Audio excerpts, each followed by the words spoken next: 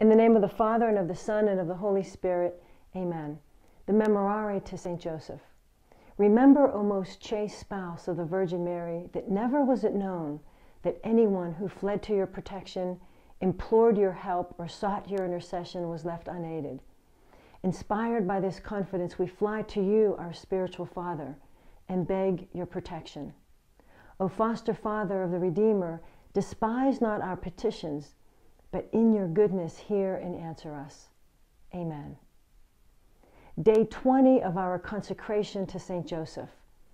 Joseph most obedient. This is another powerful title for St. Joseph. To be obedient is to have trust.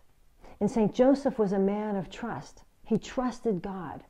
When God asked him and gave him the message to, to move, whatever that next step was, Joseph obeyed. He trusted that God's will be done.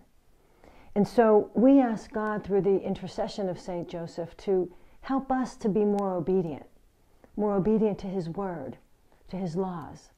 You know, a lot of people think that being obedient is somehow something that takes away our freedom, when in fact it's just the opposite. Take, for example, driving a car. This is a perfect example. You can certainly disobey the stop sign, but if you do that, you risk the, the chance of not getting to your destination safely. Well, the same with God's laws.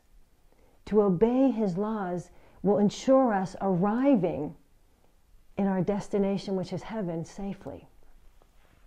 St. Joseph is the model of obedience. Keeping in mind, again, as the foster father of Jesus, Jesus learned all of these virtues from his father. Obedience was one of them.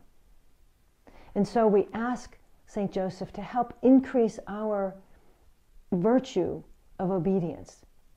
And the purpose for our consecration is to grow stronger in our devotion to St. Joseph as well, asking him to intercede for us so that we can grow stronger in our faith, to be defenders of the faith, to be obedient to God, to trust God.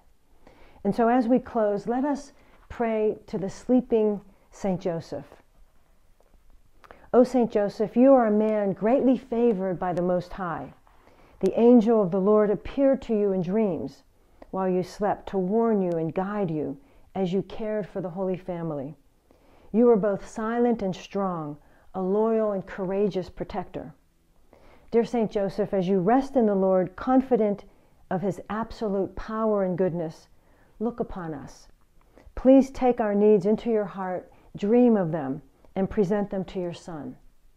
Help us then, good St. Joseph, to hear the voice of God, to arise and act with love. We praise and thank God with joy. St. Joseph, we love you.